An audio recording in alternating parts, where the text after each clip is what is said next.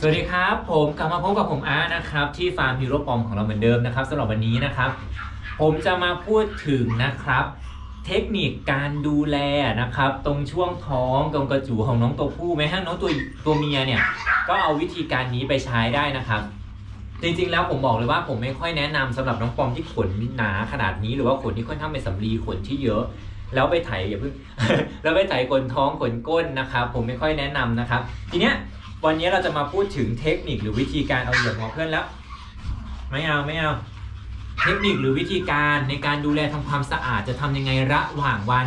หรือประจำวันแบบรูทีนนะครับ เพราะฉะนั้นเนี่ยวันนี้นะครับผมจะมาสอนเทคนิคนะครับ เป็นแนะนำทริคนิดนึงสำหรับตรงท้องเนี่ยเห็นไหมครับอะผมไม่แนะนำว่าให้ไปร้านแล้วไปไถหรือว่าใช้อะไรไถเปิดท้องตรงนี้นะครับ เพราะฉะนั้นเราจะทำความสะอาดตรงนี้ได้ยังไง แนะนำว่า ผ้าชุบน้ำครับ ผ้าก็ผ้าขนหนูทั่วไปนะ ชุบน้ำแล้วเราก็เช็ดนะครับ เช็ดก่อน เช็ดเพื่อให้คราบฉี่คราบเหลืองๆเหล่านี้มันหลุดออกไป เหตุผลที่ผมไม่แนะนำให้ไถหรือว่าตัดสั้นเนี่ย เพราะขนช่วงนี้มีความเป็นสำลีแล้วก็จะมีความช็อตนะครับได้ง่าย แล้วมันจะเป็นภาวะของขนช็อตในช่วงตรงบริเวณท้อง ดังนั้นเราก็ทำความสะอาดโดยการนี่ใช้ผ้าชุบน้ำหมาดๆเช็ดนะครับ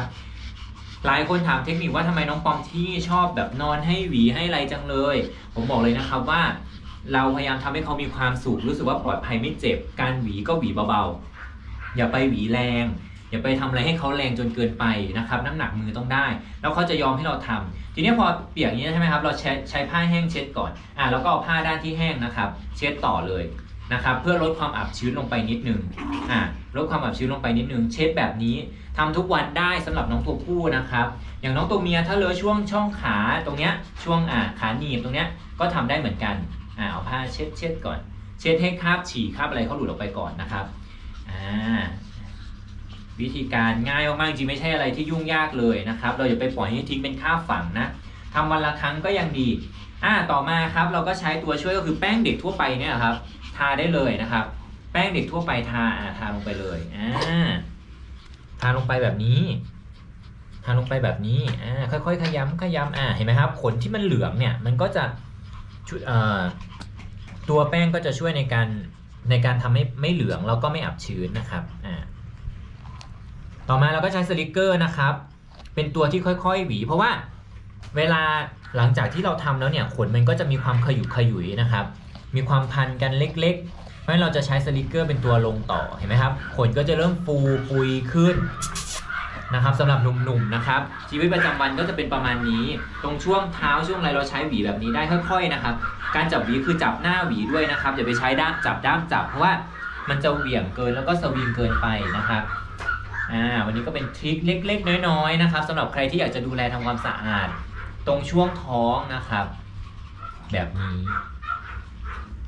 อ่า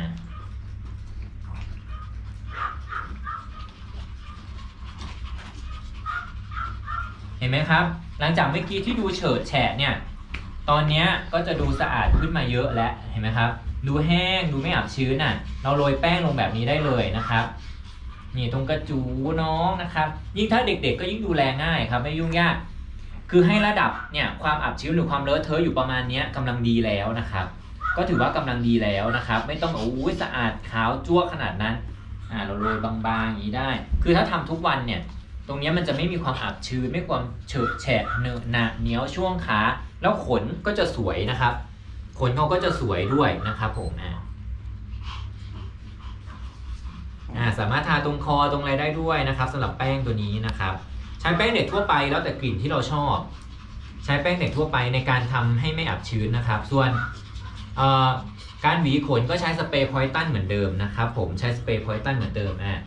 อ่าหวีตรงคอได้ช่วยนิดนึงขนจะได้ไม่เหนียวนะครับ ผมไม่เหนียวนะครับ ลดการระคายเคืองได้ด้วยนะครับ ผมอ่านี่อย่างเงี้ยอย่างคอปป้าอย่างอะไรอย่างเงี้ยเขาก็จะดูแลแบบนี้ทุกวันเดี๋ยวก็จะเวียนกันนะครับ อย่างอาเป้าสีขาวสีอะไรแบบนี้ก็ก็ทำแบบนี้นะครับ ผม ดังนั้นเนี่ยอย่าไปแก้ปัญหาโดยการไถขนตรงท้องนะครับ อย่าไปแก้ปัญหาโดยการไถขนตรงท้องทำแบบนี้ ผ้าชุบน้ำหมัดมาดๆเช็ดแห้ง แล้วก็ลงแป้งตามแล้วก็ใช้หวีหวีแปรง slicker ตัวนี้นะครับ ในการหวี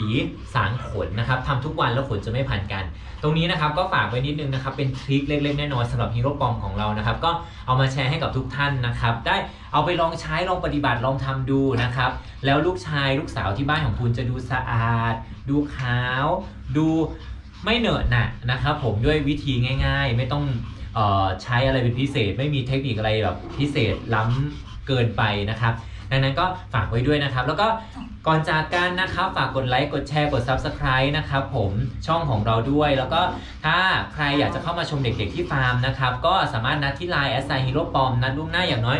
1-2 ชั่วโมง เข้ามาชมน้องหมาตัวเล็กๆ น้องปอมตัวเล็กๆนะครับที่พร้อมย้ายบ้านกันได้นะครับ ก็ฝากไว้ด้วยวันนี้ก็ลากันไปก่อนสำหรับ trick แบบนี้จากบ้านฮีโร่ปอมนะครับสวัสดีทุกท่านเลยครับสวัสดีครับ